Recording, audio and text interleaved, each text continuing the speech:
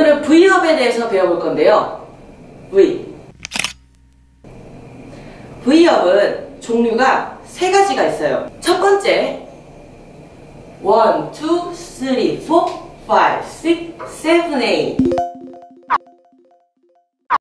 가는 방법, 두 박자에 가는 방법이 있고요. 그리고 한 박자에 가는 V업이 있어요. 1, 2, 3, 4, 5, 6, 7, 8 바로 가는 방법이요. 한 박자에 가는 거. 그리고 세 번째로는 1, 2, 3, 4, 5, 6, 7, 8 가는데 1, 2, 3, 4, 5, 6, 7, 8 V업을 갔다가 왔다가 갔다가 왔다가 약간 W 모양이기도 하죠. 보여드릴게요.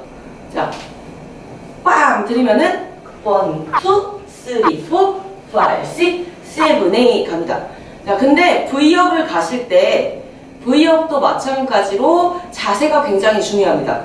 보통 제 유튜브 영상 많이 보시는 분들이 선생님 그렇게 V-up 하다가 팔 나가지 않아요? 이렇게 얘기하시는데 저만의 노하우가 있답니다. 그러니까 V-up 가실 때 우선 두 박자에 가는 걸로 보여드릴게요. one, two, 나갈 때 어깨가 이렇게 나가면 안 되고요, 우선. 어깨가 나가면은 어깨 나가고 이 어깨가 나간 만큼 이 오른손이 팔을 받쳐줘야 되기 때문에 팔이 더 뻗어져요. 그러면 팔꿈치가 이렇게 되는 거죠. 제 V업을 보면은 제가 팍 뻗는 것 같잖아요. 근데 저만의 그 노하우로는 근력을 키우기도 했어요. 물론 당연히 근력 운동을 하기도 하지만 할 때 약간 근력을 받쳐서 최대한 팔꿈치에 물이 안 가게 제가 뻗긴 뻗지만 버텨요.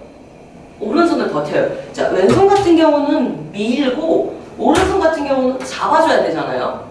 근데 잡을 때 툭빵 나가는데 제가 나갈 때 방금 어떻게 나갔죠? 고개부터 팍 나갔죠? 그러면은 어깨가 먼저 나갈 일은 없단 말이에요. 자, 어깨부터 나가게 되면 어깨가 다쳐요. 근데 고개부터 나가잖아요.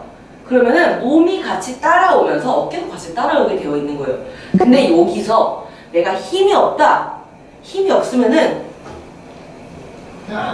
여기서 이렇게 무너지는 거예요. 그래서 당연히 근력 최대한 나갔을 때 이 손이 탁 받쳐주면서 팔꿈치를 살짝 구부리는 그런 정도로 하면서 받쳐줘야 돼요. 자, 제가 완전히 뻗었을 때예요. 봐. 자, 제가 팔꿈치를 완전히 폈을 때예요.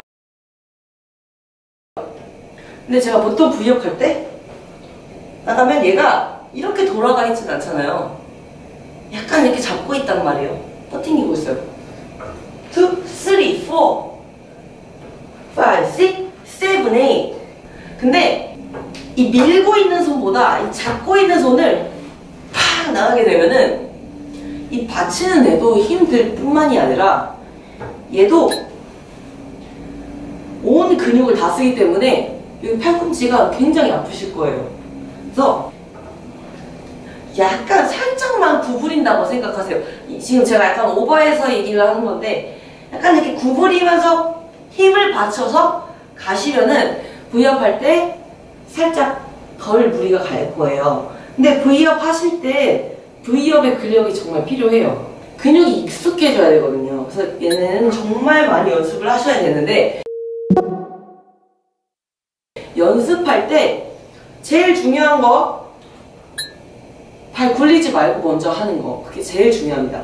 자, 발 굴리지 말고 가서 자세를 잡아보고 아 근데 내가 지금 이렇게 나가고 싶은데 지금 나는 이렇게 나가면은 너무 힘들어 다음 동작을 할 수가 없어 하시는 분들은 여기 위에서부터 바로 시작을 하세요 위에서부터 뭐 어때요 이 V업이 굳이 이렇게까지 가지 않아도 내가 지금 스피닝 위에서 V업을 따라 할 수 있다는 것만으로도 얼마나 좋은 거예요 그죠 그러니까 연습할 때 난 처음부터 이렇게 갈 거야. 난 처음부터 아예 이쪽으로 다 갈 거야. 이렇게 욕심 부리시면서 연습하지 말고 위로 올라오면서 살짝 V업을 살짝 살짝 그리면서 연습을 해주는 거예요. 자, 연습하실 때 어, 어때요, 뭐 이거? 이렇게 하셔도 V업이에요. V업이 가는데 거기서 요, 이제 요게 좀 익숙해졌다. 요만큼 가는 자세가 어, 나 굉장히 자연스럽게 가는 것 같아. 하시면은 아, 그러면 이번에는 약간만 더 내려볼까? 그래서 약간만 더 내려가면서 연습을 해보시다가 아, 나 좀 더 잘 될 것 같아. 나 요, 요만큼까지만 가볼까, 그래도? 중간까지만? 아, 근데 이렇게 내려가니까 힘든 것 같아. 나는 그냥 여기가 딱 두 번째로 연습했을 때가 제일 좋은 것 같아. 하시는 분들은 그냥 딱 그 자세를 예쁘게만 잘 잡으시면 돼요. 거기서 굳이 막 멋있게 할 거야. 물론 강사님들은 연습을 많이 하셔야 되지만 그리고 회원님들 같은 경우 그리고 스피닝 처음 타시는 분들 같은 경우는 무리해서 그렇게까지 가실 필요는 없어요. 그러니까 정말 천천히 연습하다가 어, 발 한번 굴려볼까? 오케이 one, two, three, four, six, seven, eight, two, two, three, four, five, six 어, 이거 괜찮은 것 같아. 한 박자에 가볼까? 어, 이 정도 괜찮은 것 같아. 조금만 더 내려서 가볼까? 3, 4, 3, 4, 3, 4, 3, 4. 어, 난 여기까지가 제일 좋은 것 같아.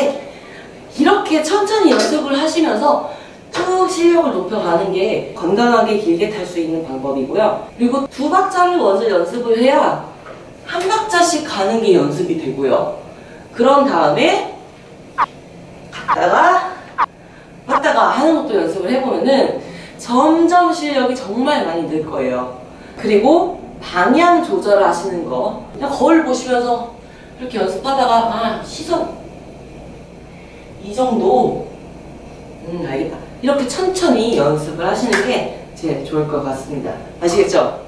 V업을 차근차근하게 연습하시다 보면은 누구든 무리가 가지 않게 예쁜 V업을 만들면서 갈 수 있다고 생각합니다. 안전한 스피닝 꼭 타세요. 감사합니다. 네.